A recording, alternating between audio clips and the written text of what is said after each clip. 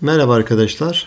Bu hafta matematikte haftanın kritik soru 15. soruyu çözüyorum. Şimdi soruda bize tek numaralı dolaplara kendi aralarında numaraların karesiyle orantılı. Yani 1, 1'in karesi 1x, 3, 3'ün karesi 9x, 5, 5'in karesi 25x kadar kıyafet konmuş. Şimdi arkadaşlar 1 ve 5'in toplamı 130 tane. Şimdi 1 ile 5'i toplarsam toplam 26x eşittir 130 yapacak. X buradan 5 gelecek. Şimdi X gördüğüm yere ben burada 5 yazarsam arkadaşlarım. Burası 5. Burası 45. Burası da 125 yapacak. Şimdi geldik diğerine. Çift numaralı dolaplar da küpüyle. Yani 2 var burada. 2'nin küpü 8x yapacak. 4'ün küpü burası da 64x yapacak.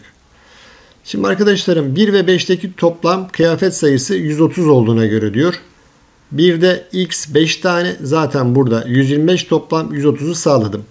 Toplam e, kıyafet sayısı 247 tane. Yani 247'den burada 5 tane, burada 45 tane 50 yaptı. 125 de burada var. Toplam 175 tane yapacak. Bunu çıkardığım zaman burada 2 kaldı. Burada toplam 72 tane.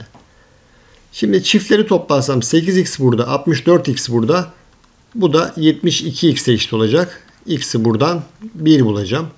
Benden istediği 4 numaralı dolap. Zaten 4 numarada 64x olacak. X gördüğüm yere ben burada 1 yazarsam cevabımız 64 olacak.